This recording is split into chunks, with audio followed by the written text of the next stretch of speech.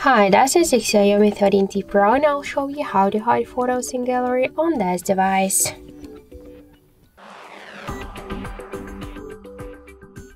So open first the gallery app. For example, let's take a couple of photos just to hide them. So now just to hide the photos, you should select the photo. Just tap to add to album and click to private album. Just to view items which we made private, we should swipe down in albums. OK. So now let's set the privacy protection password. I'll enter the uh, this unlock pattern. Just tap to next. You could uh, sync with your Xiaomi account. I just don't want to do that. So now our photo is successfully added to the private album. So how to find our hidden photos? Switch photos to albums.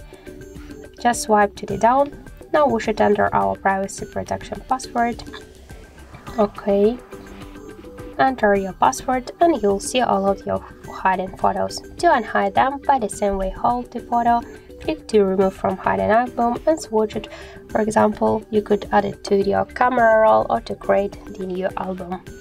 So that's it, thank you for watching and if you find this video helpful, leave thumbs up and subscribe.